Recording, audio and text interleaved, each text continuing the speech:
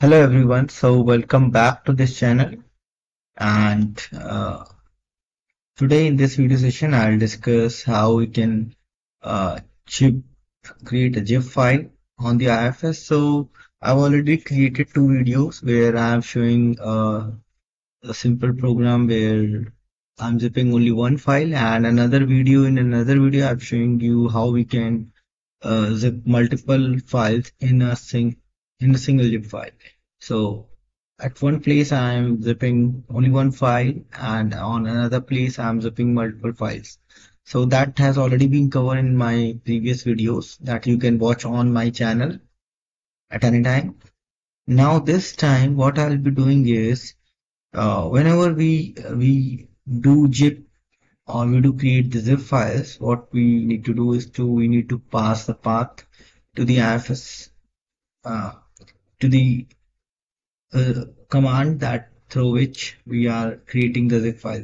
So basically, we create the zip files using the jar command, the archive command that is run through the Q shell in the Q shell environment using the Q strqsh command. So there, what we do is we need to provide the path.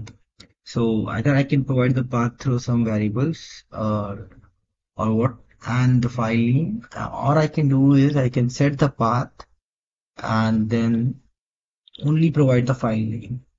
So if you look at this simple program, here what I did is I have actually set the path. So the path is slash home slash easy class and including the file name pf1.csv. So I'm providing the full path here. And this is the create dot, dot zip file so slash home slash easy class slash pf1 dot zip. So basically these are two variables. This variable is used to create a CSV file on the IFS and this variable is used to create the zip file. So if we look at this command that is run through the strqsh um, in the QShell environment. So what I'm doing is I'm building this command. So this is the jar command and this is the format of the jar command where jar and the options and then the zip file and files to be checked basically. So what i'm doing is i am passing i'm building this command and with these options and passing passing the full path. So here you can see i'm passing the full path that is slash home slash easy class slash pf1.csv so basically I'm zipping only one file pf1.csv located on that home location.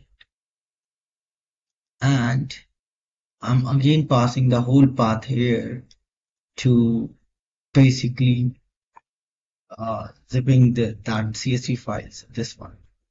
So you can see this is uh, way where I'm pa passing the full path. Now I don't want to pass the path.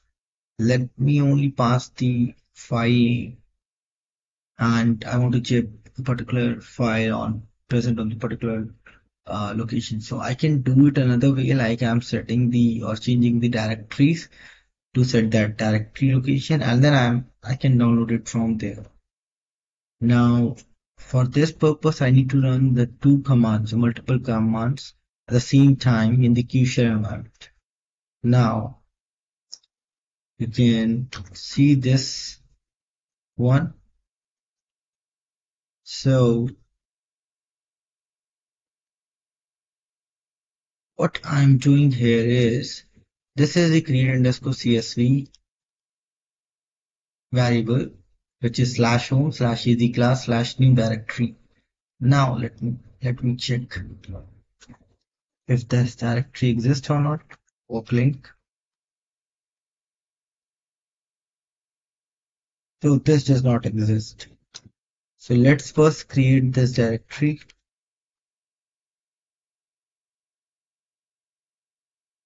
Okay.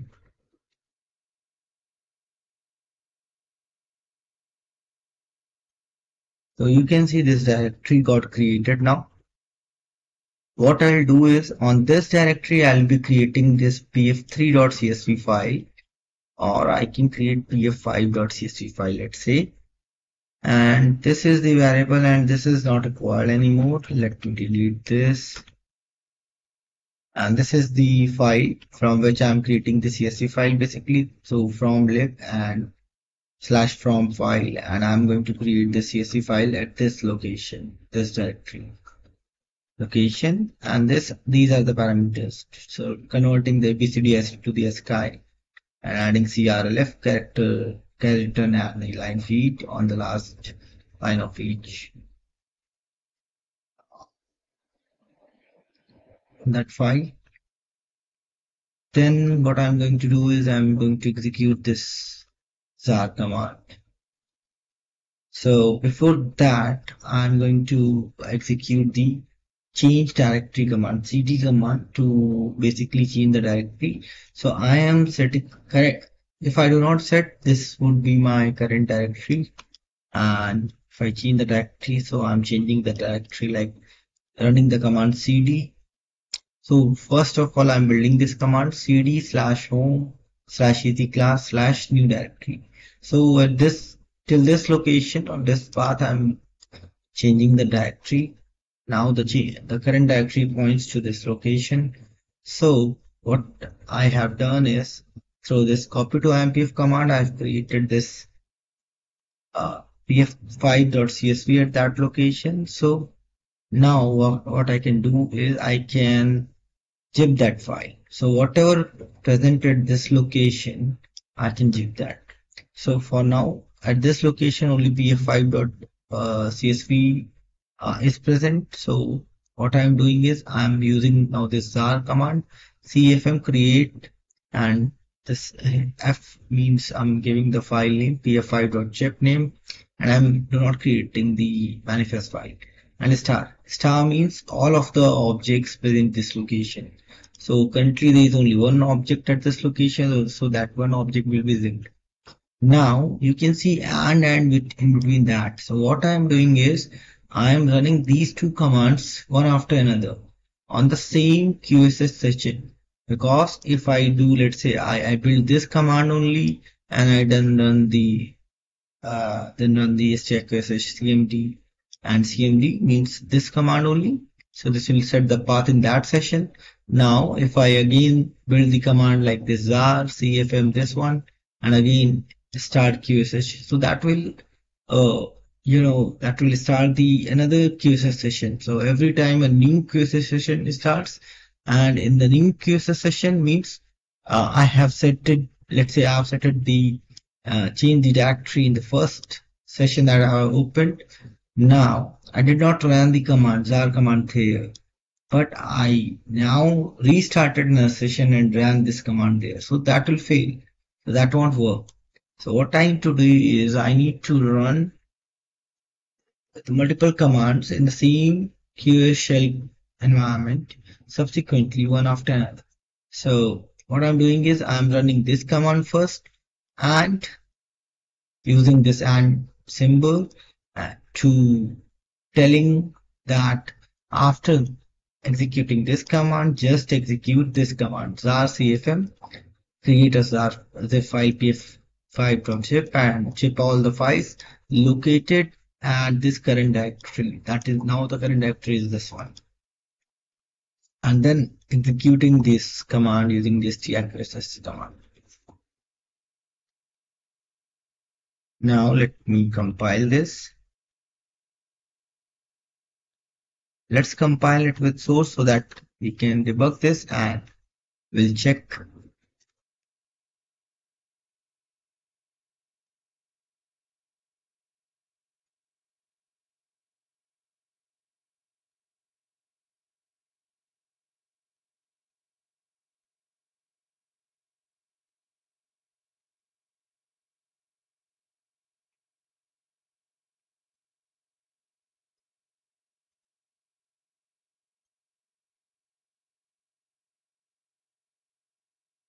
just add the breakpoint at line number one and then call chip 5. So you can see that it will basically create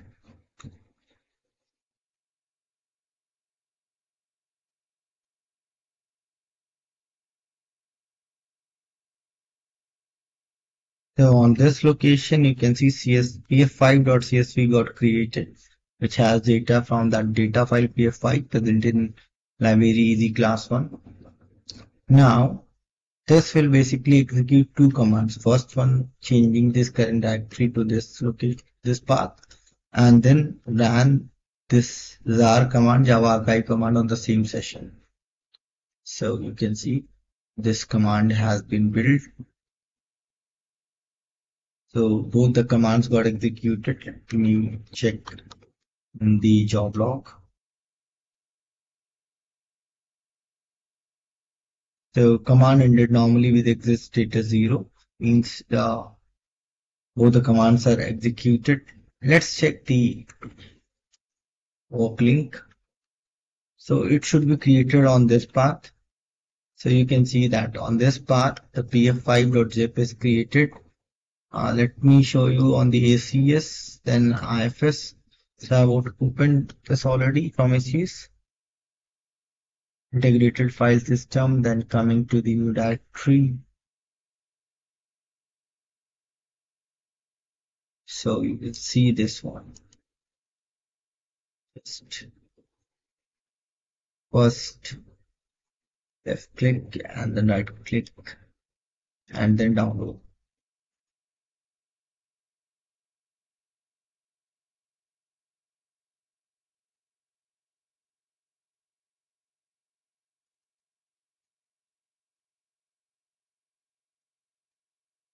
So let's check pf5.csv.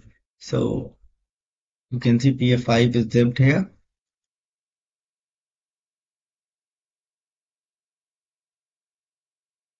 So this way we can zip the file on the IFS directory. Uh, so we can run multiple commands like uh, changing the directory or then zipping the files on that directory, on that current directory. And that is possible uh, using the same strqsh command. We can run uh, different com multiple commands on the same session, one after another, by using this syntax. So th that's that's the thing that I want to show you in this video. And that's all. Thank you and have a nice time.